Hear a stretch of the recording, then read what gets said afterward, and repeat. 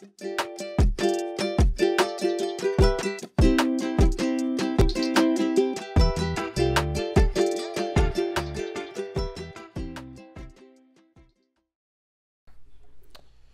Desmond. I am a partner at Gibson Dunn and Crutcher, and I work mostly out of the Los Angeles office, but also co-located in our Washington D.C. office.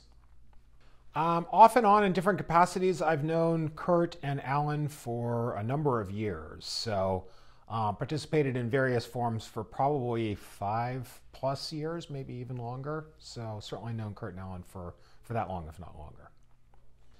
You know, I think it's important to get a wide range of conferences. Um, tax tends to have an East Coast focus, where much of my practice has been through my career. So New York, DC, and I think the Hawaii Tax Conference in particular brings a nice West Coast focus.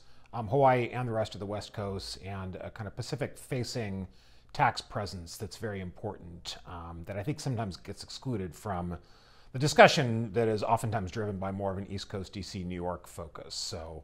Um, this conference in particular important for that reason.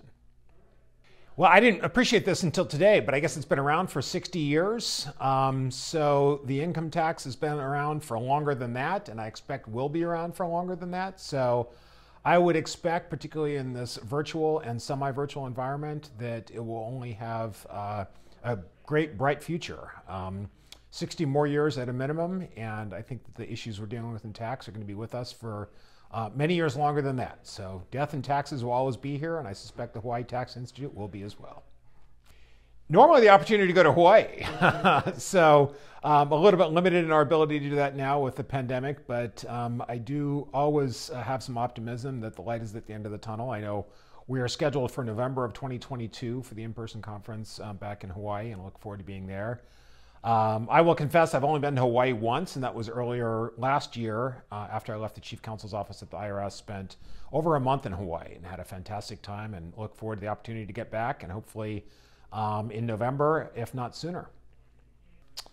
I think I go back to the point I made earlier, which is it does have more of a Pacific facing, West Coast facing um, audience and um, substantive focus as well.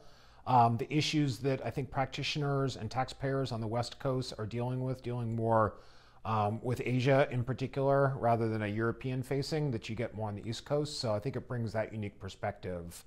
Um, and also, I just think the broad range of speakers, um, notwithstanding that West Coast focus, the Institute is very successful in attracting speakers from across the country um, and really from around the world. So bringing that perspective to a um, substantive content that is more kind of West Coast Pacific facing.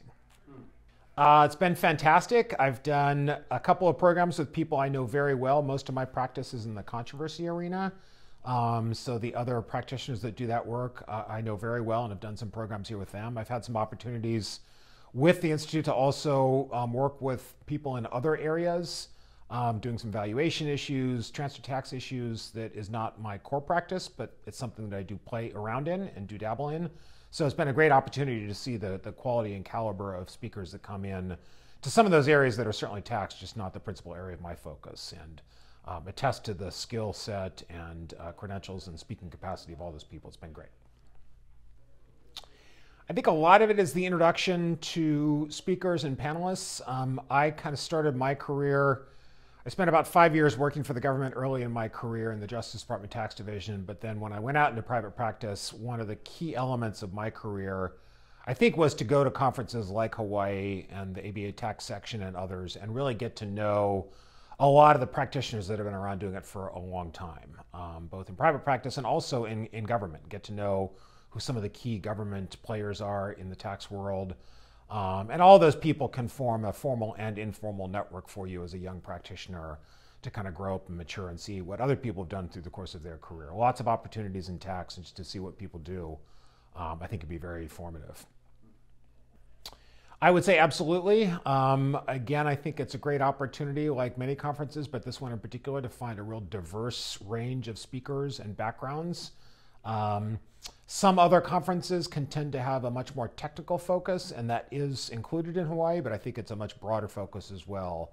Um, and really, the opportunity to interact with people, I think, is a unique element that Hawaii brings Um, probably the nature of the Hawaiian culture and kind of the more informal collegial or collegial nature of the conference is reflected in that.